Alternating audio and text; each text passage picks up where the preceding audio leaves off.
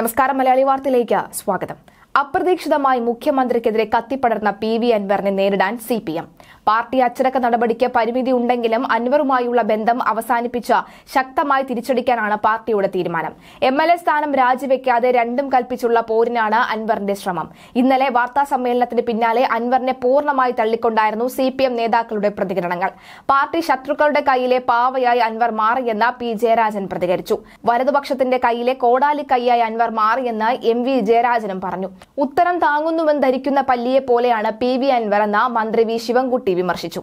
അൻവർ വലതുപക്ഷത്തിന്റെ കൈകോടായി മാറിക്കൊണ്ടിരിക്കുകയാണെന്നും വലതുപക്ഷത്തിന്റെ കാലങ്ങളായുള്ള ജീർണിച്ച ജൽപ്പനങ്ങൾ അപ്പാടെ ഛർദ്ദിക്കുകയാണ് എന്നുമായിരുന്നു ഡിവൈഎഫ്ഐയുടെ പ്രതികരണം.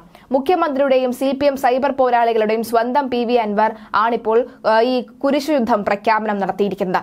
അൻവർ തീയായപ്പോൾ കൂടുതൽ പൊള്ളലേറ്റ പിണറായിക്കും എം വി ഗോവിന്ദനും മുഹമ്മദ് റിയാസിനുമാണ്.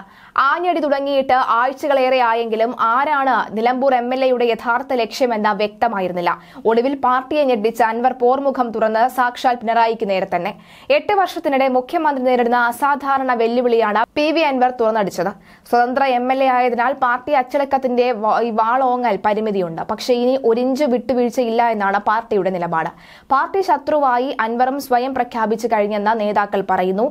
താഴെ തട്ട് മുതൽ അൻവറിനെതിരെ കടന്നാക്രമണം ഉറപ്പാണ്. എൽ ഡി എഫ് ബന്ധം അൻവർ സ്വയം ഉപേക്ഷിച്ചെങ്കിലും പൊട്ടിച്ച ബോംബ് പാർട്ടിക്കുള്ളിൽ ഇനിയും ആളിപ്പടരും. പാർട്ടി നിർദ്ദേശം ലംഘിച്ച അൻവറിനെ അകറ്റുമ്പോഴും ഉന്നയിച്ച പ്രശ്നങ്ങൾ പാർട്ടിയിലെ പല നേതാക്കൾക്കും നേരെ തന്നെ ഉണ്ട്.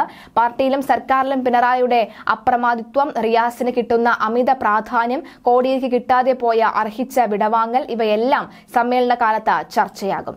അൻവറിന് പിന്നിൽ പാർട്ടിയിലെ ചിലരുണ്ടെന്ന നേതൃത്വത്തിൽ അറിയാം. അൻവറിനെതിരെ കടുപ്പിച്ചാൽ അവരെയും നിലയ്ക്ക് നിർത്താമെന്നാണ് പ്രതീക്ഷ. പക്ഷേ എ സ്ഥാനം വിടാതെ പാർട്ടിക്കെതിരെ കടന്ന് കടന്ന് ആക്രമിക്കുന്ന ഈ ഒരു സാഹചര്യം സാഹചര്യം അൻവർ ഉറപ്പിക്കുമ്പോൾ എളുപ്പമല്ല സി പി എമ്മിന് കാര്യങ്ങൾ.